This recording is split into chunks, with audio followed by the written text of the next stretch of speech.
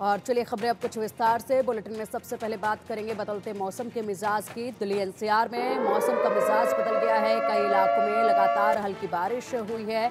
कुछ इलाकों में बारिश से जल भराव की स्थिति भी उत्पन्न हो चुकी है। कल तक दिल्ली एनसीआर में येलो अलर्ट जारी किया गया। दिल्ली एनसीआर में आज बादल पूरा दिन छाए रहेंगे। तो देखिए, दिल्ली एनसीआर के कई इलाकों में झमाझम बारिश हुई है। ये बारिश का सिलसिला कई घंटों तक लगातार चला है और जब कई घंटों की बारिश हुई तो कई इलाकों में जलभराव की स्थिति भी उत्पन्न हुई। हालाँकि जिस तरीके से बारिश का अक्सर ही देखा जाता है कि बारिश अपने साथ कुछ राहत भी लेकर आती है तो कुछ आफत भी लेकर आती है। जल भराव की स्थिति के चलते आफत बनी है बारिश तो वहीं मौसम सुहाना हुआ। गर्मी से राहत मिली, उमस से राहत मिली और इसी के चलते बारिश की वजह से लोगों को थोड़ी राहत भी मिली है।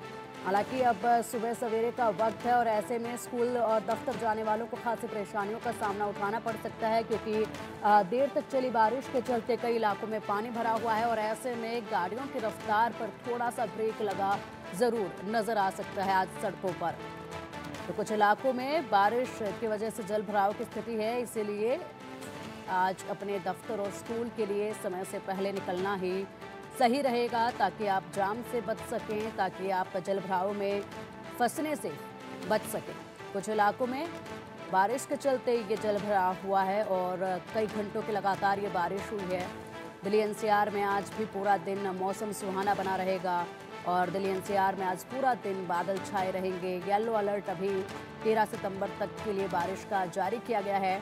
13 सितंबर तक बारिश का जो सिलसिला है, वो यूँ ही देखा जाएगा और येलो अलर्ट जारी किया है, जिसके चलते राहत तो ज़रूर मिली है उमस भरी गर्मी से, लेकिन इसी के साथ साथ थोड़ी बहुत परेशानियों का भी सामना करना पड़ सकता है।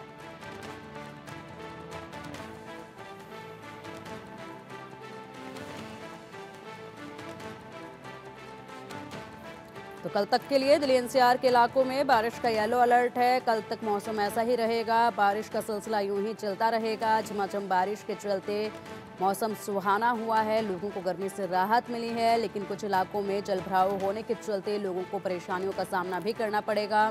सुबह सवेरे जब लोग अपने घरों से निकलेंगे दफ्तर के लिए और अब स्कूल जाने के लिए जब निकलेंगे तो ऐसे में रफ्तार गाड़ियों की थोड़ी धीमी पड़ सकती है। और सड़कों पर जाम की स्थिति उत्पन्न हो सकती है। हालाँकि जिस तरीके से बारिश का सिलसिला देखा गया है, बारिश जो है काफ़ी तेज़ नहीं हुई है। हवा के साथ धीमी बारिश हुई है और ऐसे में जो पानी की निकासी है, वो बहुत जल्द सड़क पर देखी जा सकती है और इसीलिए ज़्यादा मुसीबतों का सामना आज के दिन हो सकता है, ना करना पड़े।